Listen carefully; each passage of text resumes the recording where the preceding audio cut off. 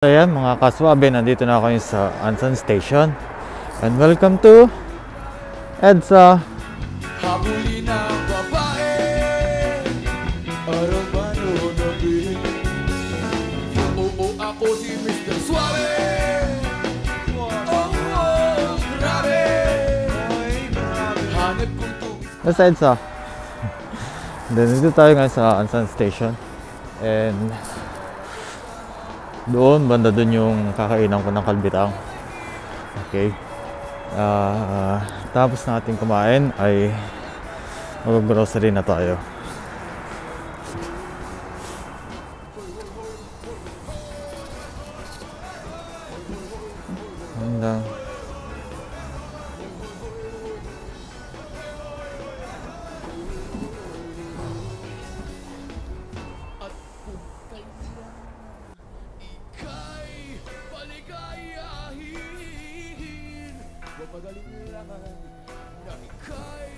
Lumapit sa akin Atin sa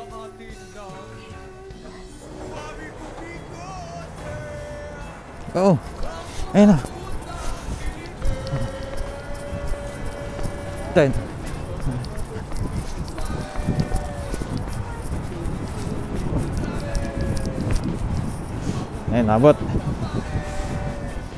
So, yung mga kaswabis, swabis, nandito ngayon tayo sa dito. Diyan, diyan. Diyan, masarap din yung kalbitang dyan. So, diyan tayo kakain. Ngayon ako sa Sagunglam Halmes Sundeguk. Sundeguk. So Sundeguk ata specialties, specialties nila dito. Pero kalbitang ang ating dinayo dito. So, tara na.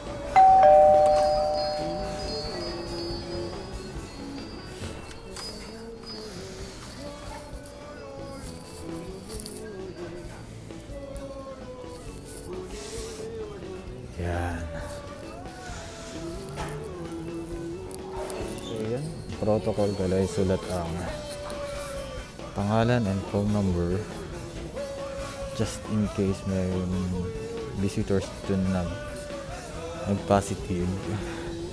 So sana wala naman.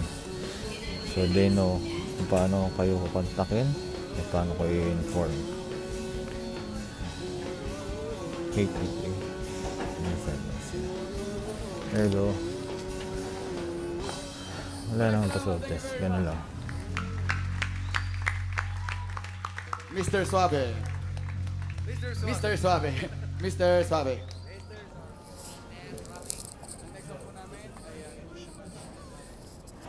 Wow. Here you go. 감사합니다.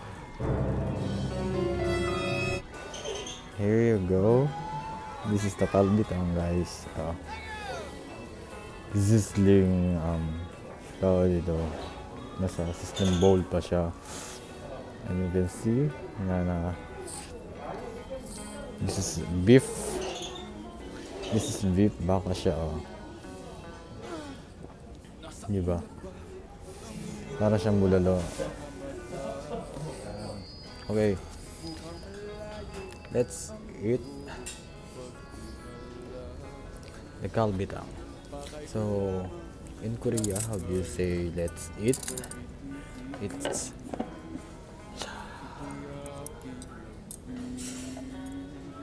잘 먹겠어요.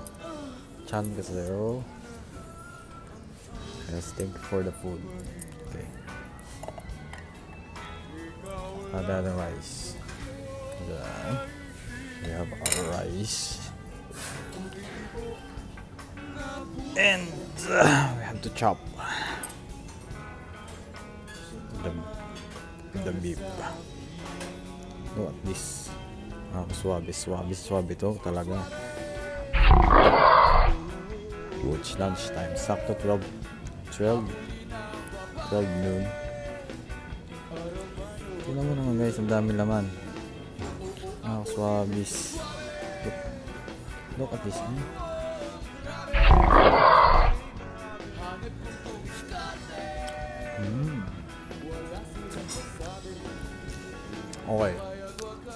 Based din sa napanood ko ang how ini-prepare yung kalbitang binuboil nila to ng sobrang tagal. Kasi nga, beef to. And then, after nila i-boil, ito freezer nila para lumamig and then tatanggalin nila yung yung mantika na lumabas na sa sa beef tapos mm, mm.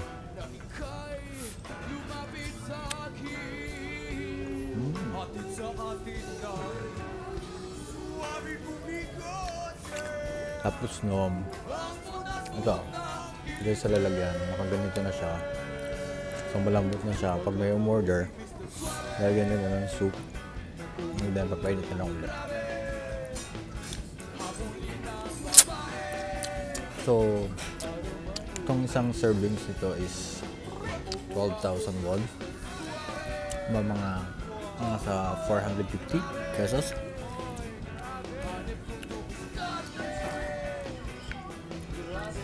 Kaya siya mahal is dahil nga beef siya. Alam natin ang beef is presyo ng beef ay iba sa presyo ng baboy.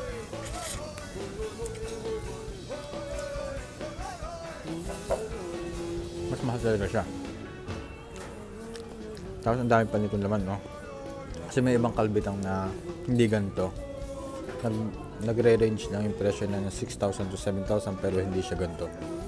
Ano lang siya, parang sliced beef lang siya na pinakuluan. Kaya siya mura.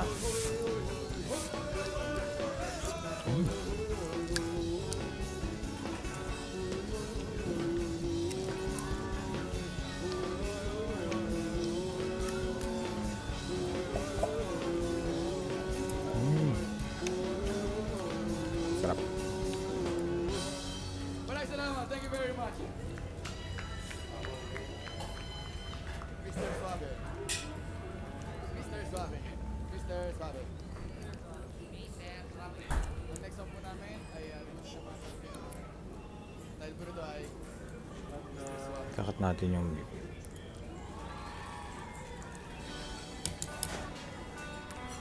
Actually, sa ibang sit-down or restaurant, sila pa yung nagtitimpla ng, ng soup nila.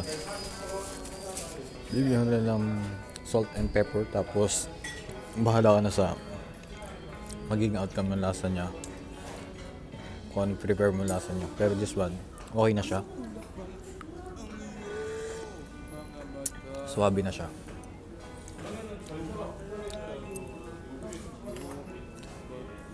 Sabayan natin ang kimchi. Kimchi. Mm.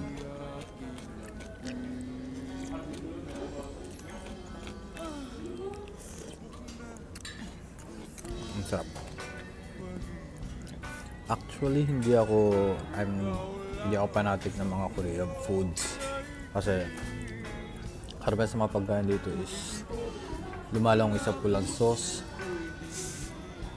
ng manghang mga para-para ng lasa kasi may kimchi powder pero ito kasi para siyang bulalo bulalo Batangas wala siya ng mais Siyempre hindi siya ano, yung supsupin ba? ang Tawag dito. Yung sup sa. Pero ang sarap niya.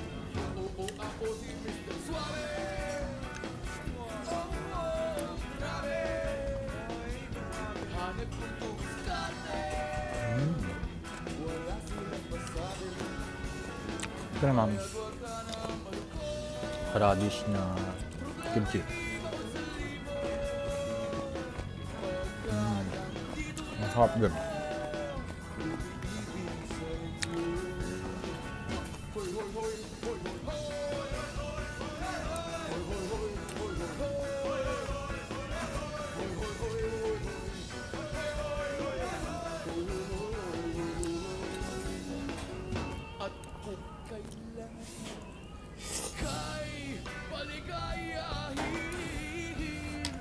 Madaling laman na ika'y lumapit Hatid sa atin ng Tip ko lang sa inyo mga kas- kaswabis. Kapag may time kayo, um, itreat nyo naman yung katawan nyo na kumain ng masarap. Yung mga gusto nyo kainin. Kahit isang beses sa isang, sa isang linggo. Kasi the whole week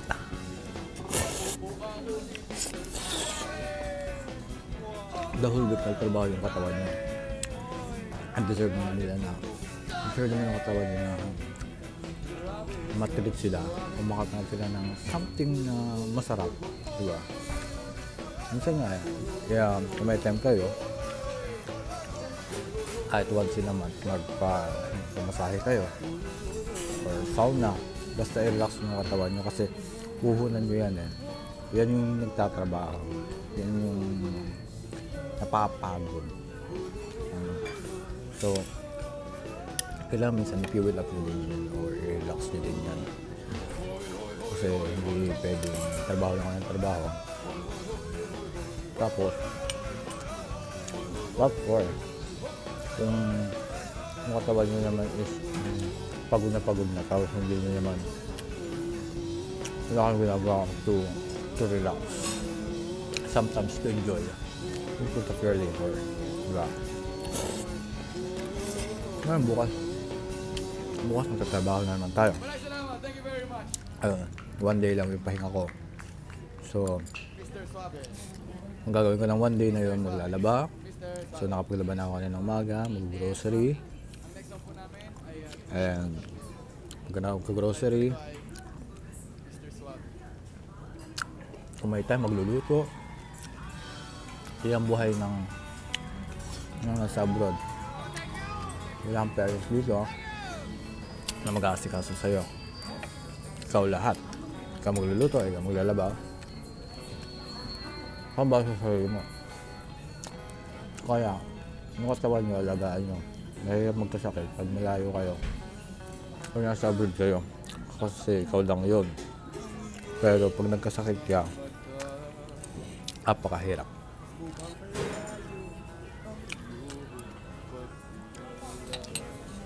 So, swerte ako kasi the whole year, last year, 2020, um, never ako nagkasakit. Hmm. Kahit yung trabaho, mahirap. Punta construction, sobrang lamig, yes. Um, may trabaho ko, nag-snow, sa ilalim ng snow. Pero never ako nagkasakit. And yun yung pinapapasalamat ko ng 2020.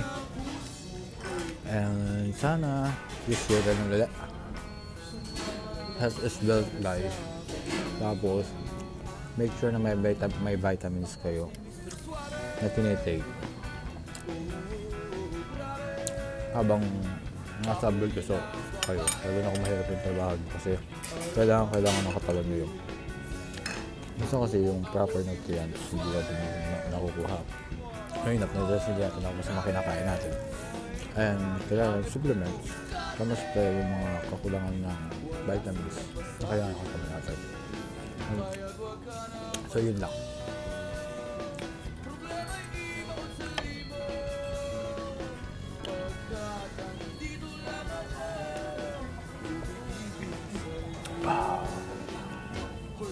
is a parent.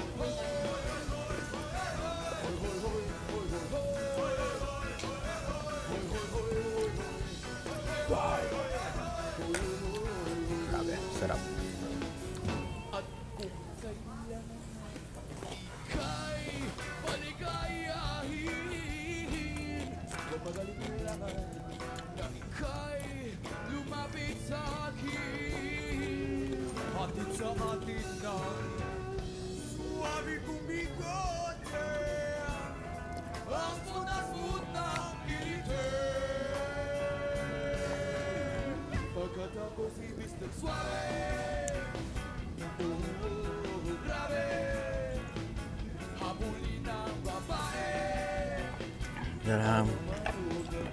It's empty. So we're done. Oh. Mabayad na tayo.